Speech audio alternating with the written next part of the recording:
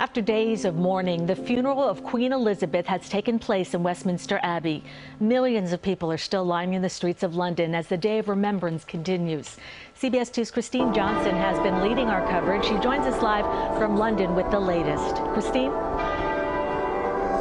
Well, good morning to you, Cindy, and everyone there back in the tri-state area. The Queen's coffin is now part of a motorcade that is on its way to Windsor, Windsor Castle, after leaving um, Westminster Hall and also Westminster Abbey, where the funeral service took place today. You can see here from these live pictures, people lining the streets along the path, all wishing Her Majesty their best wishes, her one final look before she is laid to rest.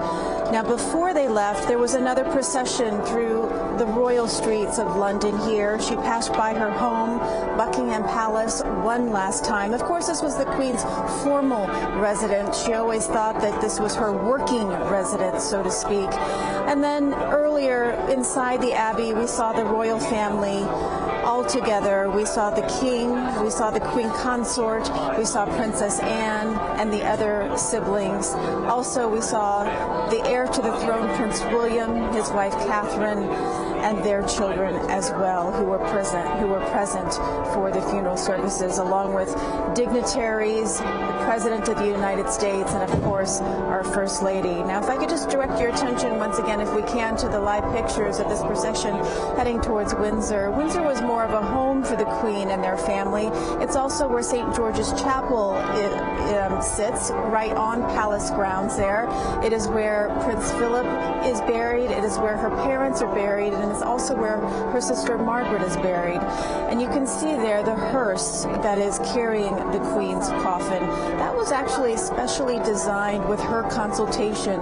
You'll notice there that it is um, there's lots of windows, and this was by special request because she knew that people would be out to see her and would want she wanted her coffin in full display so that there would be no obstructions for the people that loved and adored her throughout her 96 years of life, and of course for that 70 year reign on the throne. Cindy, back to you. Kristine, I know St. George's Chapel is special to the Queen and the royal family. Very fitting. This is where she chose to be buried. It is. You know, people there around Windsor, we spent some time there last week when we first arrived, and people there, it's as if she's part of the town, believe it or not. She felt very comfortable walking the streets there. She attended many, many dedication ceremonies there. You walk throughout the little town, and you'll see statues of the Queen um, all throughout the years. Some of them depicted when she was a younger woman, some, you know, into her senior years. But it is a very special place for, for, for the family as well.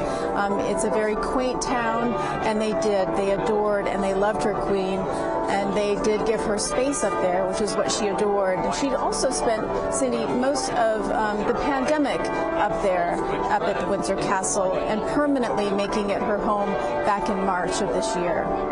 Kristine, you and Ali Bauman have been in London since the Queen passed. I'm just, I'm wondering what site or what interview really you'll bring home with you and, and always remember?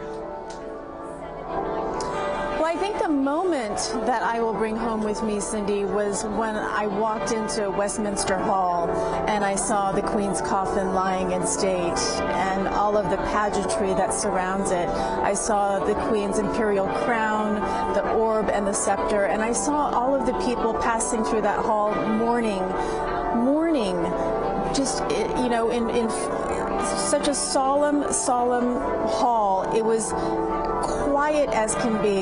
The only time you really heard noise was during the changing of the guards. And it did make me understand quite a bit more what this nation is feeling with the loss of their queen.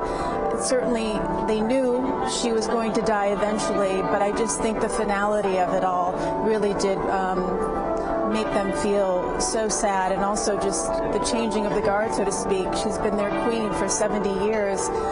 It's hard, it's weird to even say King Charles. People are still getting used to that. Yeah. Um, but I would have to say that that moment there was was one that I will always remember. And of course, talking to people on the queue who just wanted to do something, wanted to do something for Queen Elizabeth, and that was their way of spending hours and hours and hours on the queue to get into Westminster Hall. Well, Kristine Johnson in London for us this morning. Thank you, Kristine.